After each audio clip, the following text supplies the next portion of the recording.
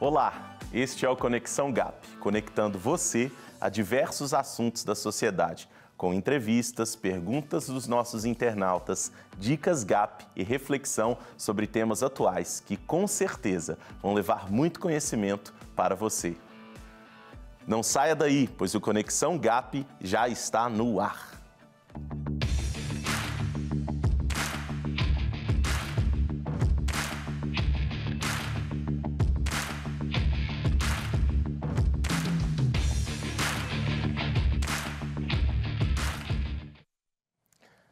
Conexão GAP tem o objetivo de levar conhecimento sobre todas as esferas da sociedade, principalmente da esfera política, a vocês, nossos telespectadores.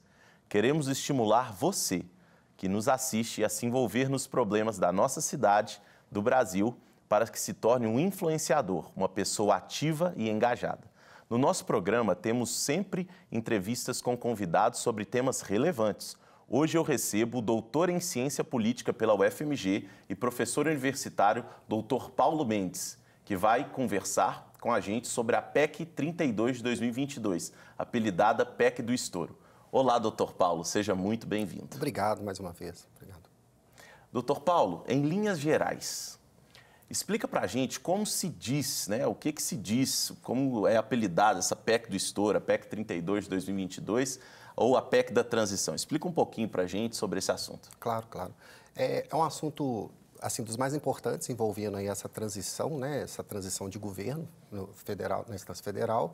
E na verdade essa PEC 32, ela foi é, encaminhada no Senado, né, respeitou aquele um terço né, da casa. Então assim foi, foram 38 senadores peticionaram, né, assinaram essa essa proposta de emenda à Constituição e ela, na verdade, ela é ampla porque ela envolve tanto a questão de previdência social, políticas sociais e, grosso modo, o desenvolvimento é, econômico do país. É, ocorre que a PEC, grosso modo, ela tem muito se noticiado sobre um, o, o seu principal objetivo, que é o aumento aí do valor hoje o Auxílio Brasil, que vai passar a chamar, né, vai voltar a chamar Bolsa Família para 600 reais, mais 150 reais para criança até 6 anos. Só que ela vai muito além. Ela é, também é chamada PEC do estouro, porque ela estoura né, o teto de gastos que foi estabelecido aí por outra proposta da Constituição, né, que é outra emenda constitucional, a emenda 95 de 2016. É assim, então é importante entender que existe um teto hoje. Esse teto, ele incide nas despesas primárias de forma individualizada e ele está meio que atrelado a 2017 a receita corrente líquida lá de 2017. Então, a cada ano, o que se propôs com a emenda constitucional 95 de 2016 é que a cada ano esse valor fosse reajustado pelo IPCA, né, o Índice Nacional de Preço ao Consumidor Amplo do IBGE. Anualmente, então, tem um reajuste. O que, que a, essa PEC do estouro propõe? Ela propõe que alguns gastos eles saiam do teto. Né?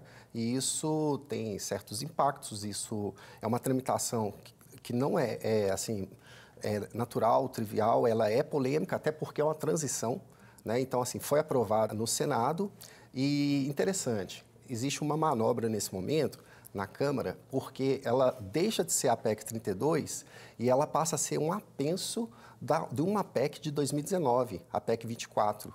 Ou seja, porque aí ela dispensa passar naquelas comissões que ela naturalmente passaria. Isso é uma estratégia para ganhar tempo. Era uma PEC que falava é, essencialmente de mais autonomia para as instituições de ensino federal, mas agora essa PEC 32, ela passa então a compor essa outra PEC. A ideia é que seja aprovada né, diretamente no plenário da Câmara em dois turnos, né, com suas respectivas sessões. Precisa da aprovação de no mínimo 308 deputados dos 513. Então, assim, a, a, a expectativa é que seja aprovada e ela implica aí um, um rombo, um estouro, né, do teto de 145 bilhões de reais para 2023. Inicialmente era 175, houve uma discussão, uma redução para 145 bilhões de reais. A gente fala do orçamento aí de 5 trilhões né, do governo federal, mas esse estouro, ele, né, naturalmente, ele vai ter outras escolhas aí, vão ter que, né, que a conta vai ter que fechar. Doutor Paulo, é, por que o mercado reagiu tão mal à fala de Lula? Abre aspas. Por que as pessoas são levadas a sofrerem por conta de garantir tal estabilidade fiscal nesse país? Porque toda hora as pessoas falam que é preciso cortar gastos, é preciso fazer superávites, é preciso fazer teto de gastos, porque as mesmas pessoas que discutem com seriedade o teto de gasto não discutem a questão social nesse país. Fecha aspas. Então, a gente pode começar respondendo essa pergunta, que aparentemente ingênua, mas não poderia ter sido ingênua por quem a perguntou. É, dizendo que isso não, não é algo se perguntar, porque, como é dito na própria pergunta, as pessoas que discutem isso seriamente, porque isso não é algo a ser discutido. A questão de responsabilidade fiscal é algo que não é assim uma questão partidária, uma questão de campanha. Vamos aqui né, ter um consenso, a campanha acabou, agora é a hora de pensar o melhor para o país. Então, o mercado reagiu mal porque você criticar né, uma, políticas né, de reajuste, políticas de ajuste fiscal, grosso modo, é, grosso modo, colocar em risco aí os próximos anos do país, das contas do país. Então, a sustentabilidade fiscal, sustentabilidade dos gastos públicos, ela requer, então, um comprometimento. Né? A gente não deve, então, gastar mais do que a gente tem disponível. Então, isso repercutiu mal. É, imediatamente o dólar disparou, as ações despencaram e isso traz um certo, né, um certo receio aí para essa, né, para o que, né, para os próximos anos aí, né? Ótimo, doutor Paulo. E por que é tão difícil chegar a um consenso em relação ao texto final da PEC?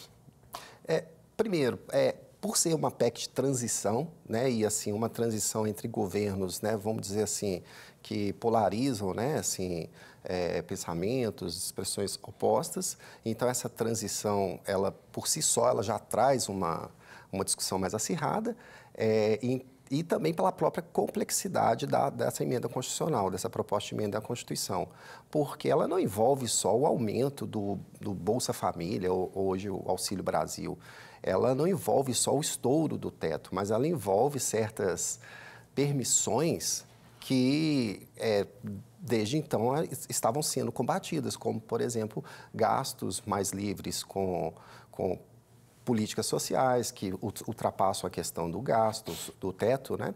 Então você tem, por exemplo, lá a discussão, tem auxílio gás envolvido, são os pontos polêmicos, né? Você tem, por exemplo, também a permissão para que não entrem né, nesse teto diversas rubricas orçamentárias, como, por exemplo, para execução de obras e serviços né, de engenharia, quando o recurso for proveniente de transferências da, dos estados e dos municípios.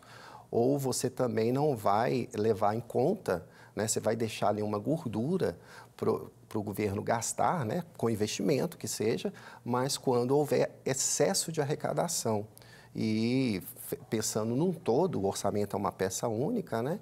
Você tem um grande problema que é resolver o problema da dívida pública, né? E além disso, também evitar déficits, né, anuais. Então, assim, é, essa PEC ela é muito complexa, são discussões assim que são é, realmente fervorosas. Apesar disso, ela teve uma aprovação expressiva né, no Senado, 64 votos, né, versus 16 no primeiro turno, versus 13 no segundo e é, ela tem uma negociação, negociações paralelas, né, é, podem ocorrer. E qual que é o impacto, né, para os nossos telespectadores entenderem, para a saúde fiscal do Brasil? Pois é, é, a longo prazo, isso pode trazer consequências né, que a gente ainda não, não, não são conhecidas. Mas vamos pensar o seguinte: quando você é, toma medidas né, que vão contra a responsabilidade fiscal, ou você vai romper o teto, você, teoricamente, você pode aumentar né, os, a, a dívida pública, você naturalmente pode gastar mais, aumentar então a despesa pública e ter um déficit, um déficit no final do, do ano, né, do exercício financeiro, e você vai promover então fuga de investimento, né, investimento estrangeiro, assim como investimento né, do nosso investimento nacional, né? As pessoas vão ficar desincentivadas né, a investir o dinheiro no Brasil.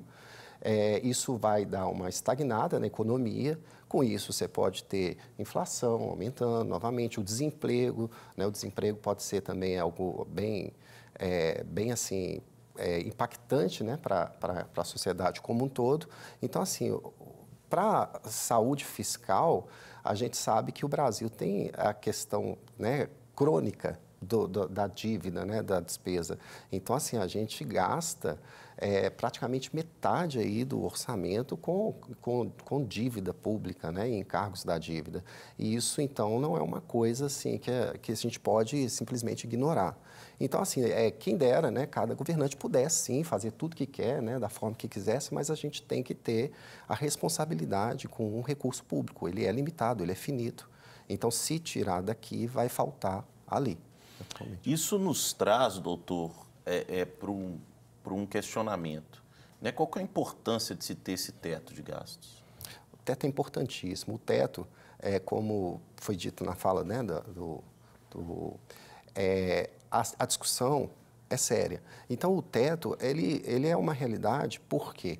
Que foi imposta, né, em 2015 começou essa discussão, é, e essa emenda à Constituição 95, né, de, de 2016, ela, ela foi, então, é, instituiu o teto, porque é, desde o século XIX, o gasto público ele tende a aumentar. Né? E são várias teorias que explicam isso, seja pela facilidade arrecadatória, né? que vai só tendo cada vez mais facilidade de arrecadar o Estado, então acaba que ele também vai gastar mais, ou seja pela necessidade do Estado gastar mais mesmo. O Estado, a própria mudança de paradigma, de atuação do papel do Estado, né?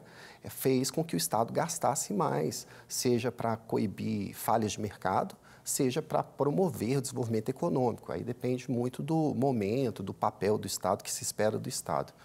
É, só que é, o teto, ele implica uma forma de você forçar a melhoria no planejamento financeiro. Isso significa que você não vai mais, você vai ter que ter mais critério no gasto. Você, então, assim, isso grosso modo. E, e, e, e outra sorte, né? A gente tem, então, uma situação crônica mesmo, né? Que a gente não está nadando em dinheiro, a gente tem, assim, déficit de dívida pública que são expressivos.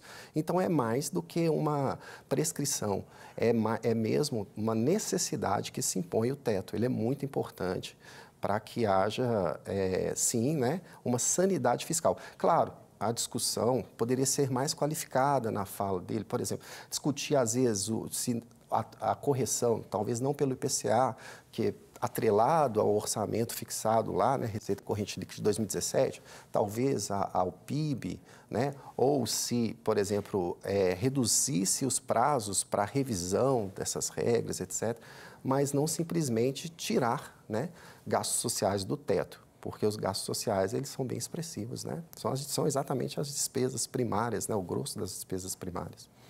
Excelente, doutor. E em relação à PEC, né, essas medidas de fato ajudam os vulneráveis? E se ajudam, por quê?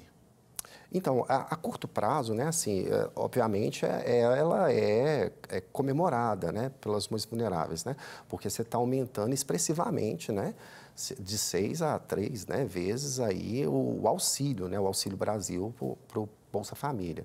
Então, assim, isso é um impacto imediato, natural, há mais dinheiro circulando. Então, assim, no primeiro momento, ok, a preocupação é a médio e longo prazo. Por quê? Você, com certas escolhas que são feitas, né, você pode comprometer a, a sanidade, a sustentabilidade de, até das políticas sociais, saúde, educação, a médio e longo prazo, e você também pode gerar um efeito né, perverso, que é a baixa qualificação né, dos mais vulneráveis, porque eles vão é, a parcela deles né, vão estar assim, afastados do mercado de trabalho, vão estar, às vezes, com uma falta de incentivo à qualificação pessoal, profissional, e isso pode refletir numa mão de obra mais desqualificada no futuro, com menos potencial para remuneração melhor. Ou seja, os impactos a médio e longo prazo podem ser prejudiciais em, a esses vulneráveis. Entendi. Doutor Paulo, infelizmente o nosso tempo acabou. Perfeito, Muito obrigado pelas contribuições. Que Acho que os nossos telespectadores ficaram enriquecidos com esse conteúdo. Muito Mas, obrigado. Eu que agradeço. Sempre uma satisfação né, estar aqui com vocês. Perfeito. Obrigado. Estamos de volta com Conexão GAP e agora vamos responder a pergunta de um dos nossos telespectadores. E quem está aqui comigo é a integrante do GAP, Cássia André, que hoje vai participar do nosso quadro GAP Responde.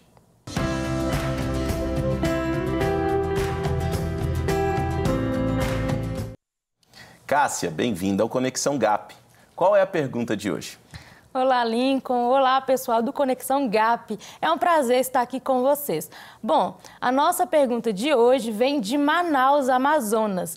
E quem pergunta é a Maria Clara Souza. Ela pergunta: como encontrar equilíbrio entre responsabilidade fiscal e políticas públicas assistenciais? E ainda, em que medida o Estado deve atuar para combater a pobreza? Bom, Maria Clara, a Bíblia por diversas vezes fala em ajudar os pobres e necessitados. Do Velho ao Novo Testamento, há ordenanças nesse sentido. Fugir e, e negligenciar a palavra de Deus, aliás, e sempre, é sempre bom lembrar que, o que diz em Tiago 2, que diz: aquele que tem fome ou frio, não diga ide em paz, aquietai-vos e fartai-vos e deixe de ajudá-los nas coisas necessárias para o corpo. A Bíblia nomeia essa atitude como fé morta. Nesse contexto, Maria Clara, há dois aspectos fundamentais que precisamos ser, ser destacados, precisamos destacar. O primeiro deles é que essa obrigação não é exclusiva dos governantes. Em muitos versículos, nós veremos que são ordenanças, que são ordens dadas a nós, cristãos, ou seja, fechar os olhos para o que acontece ao nosso redor não pode ser opção para o cristão.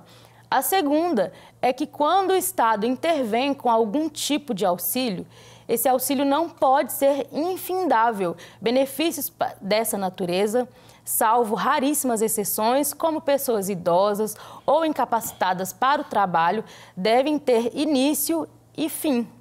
O ser humano foi criado à imagem e semelhança de Deus, e um dos atributos dele em nós é a habilidade para trabalhar, criar e produzir. Isso enaltece ao Senhor. Nós não estamos não estamos com isso dizendo que beneficiários de programas assistenciais não são pessoas trabalhadoras ou esforçadas. Claro que não. O que estamos afirmando é que o Estado deve criar políticas públicas emancipatórias que garantam cada vez mais independência e autonomia para o ser humano e não o contrário, ou seja, sabemos que diversas situações podem desencadear uma vulnerabilidade financeira maior. Todos estão sujeitos a isso. No entanto, o Estado não deve intervir no sentido apenas de, remedi de remediar a situação, o foco. A situação, o, o foco, ele deve estar em auxiliar aquele cidadão a sair desse contexto de maior vulnerabilidade. Então é isso, Maria Clara. Eu espero ter, que tenha respondido a sua pergunta. E você também quer participar do GAP Responde? É muito fácil. É só seguir o nosso perfil no Instagram, gap.unec, e enviar um direct para a gente com a sua pergunta, seu nome, sua cidade e a hashtag GapResponde. Até mais! E como esse programa gosta de levar muito conhecimento para você, não pode faltar a dica GAP da semana. E dessa vez, quem vai dar uma dica super legal para a gente é a integrante do GAP, Gláucia Soares. É com você, Gláucia.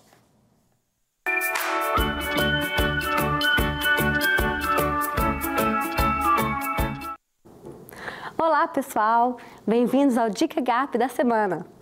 Este espaço que traz para você diversas dicas de livros, cursos, músicas, filmes e muito mais. Dicas que certamente irão edificar sua vida na caminhada cristã e cidadã. E a Dica Gap de hoje é o Ministério CRI, Cristãos Empreendedores, que tem como missão desenvolver empresários, empreendedores, profissionais e autônomos a alcançarem seu potencial máximo sua proposta é auxiliar as pessoas a criarem e conquistarem seus sonhos, fortalecer os relacionamentos e laços, gerar novas oportunidades e desenvolver discípulos. O objetivo desse ministério é ajudar as pessoas a usarem as estratégias de Deus e serem guiadas pelo Espírito Santo, resgatando um verdadeiro impulso ao trabalho para proporcionar a revelação dos valores bíblicos e a expansão da cultura de reino. São realizados eventos e reuniões em diferentes regiões do Brasil e até mesmo em lagoinhas fora do Brasil. Já tem ocorrido esse movimento. Para mais informações do Ministério CRI, Cristãos Empreendedores, acompanhe as publicações da Igreja Batista da Lagoinha no Instagram e fique de olho nos próximos eventos. Espero que vocês tenham gostado da dica desta semana. Até mais, pessoal! Valeu, Glaucia, obrigado pela participação e pela excelente dica. E agora vamos para a nossa reflexão bíblica. O assunto da entrevista do programa de hoje abordou a economia do nosso país. Economia é uma área que, assim como as demais, podemos buscar direcionamento na palavra de Deus. E na Bíblia há várias passagens que falam sobre dinheiro, finanças, riqueza. Provérbios é um dos livros que mais aborda esse assunto. Por exemplo, em Provérbios 6, de 6 a 11, encontramos o primeiro passo para uma vida financeira próspera, que é deixar a preguiça de lado. Outro aprendizado importante escrito por Salomão é gastarmos menos do que ganhamos. Em Provérbios 21, 20 está escrito: O sábio economiza e tem sempre comida e dinheiro em sua casa, mas o tolo gasta o seu dinheiro assim que o recebe. Parece algo óbvio, mas nem sempre é simples praticar essa premissa. Bom, e quando o fazer dívidas toma tempo da nossa vida. Encontramos na palavra de Deus, também no livro de Provérbios, o capítulo 22, versículo 7, menção sobre empréstimos. O rico domina sobre os pobres, e o que toma emprestado é servo do que empresta. Por isso, é necessária muita cautela quando se trata de empréstimos. Outra instru instrução na Bíblia que refletirá no sucesso financeiro é a dedicação ao trabalho. Salomão escreveu no versículo 15 do capítulo 18 de Provérbios o seguinte versículo: Você conhece alguém que faz o seu trabalho com cuidado e perfeição?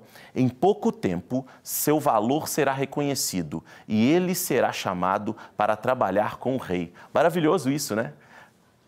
podemos ver, assim, o fruto do nosso trabalho. Quando fazemos com excelência, buscamos mais conhecimento, e o que isso acaba gerando também prosperidade financeira. Veja o que está escrito em Provérbios 18:15. A mente do homem sábio está sempre aberta para receber conhecimento e o seu ouvido aberto para ouvir novas ideias. E para finalizar, a Bíblia nos ensina algo extremamente importante, não só para o avanço financeiro, mas também para o nosso crescimento espiritual, que é sermos pessoas generosas. O ato de dar, de doar, reflete o amor de Deus. E sim, a pessoa generosa sempre terá mais e mais. Ela receberá de volta todo o bem que fez aos outros. Provérbios 11, 25. Bem, hoje nós vamos ficando por aqui, mas te espero no próximo Conexão GAP. Tchau!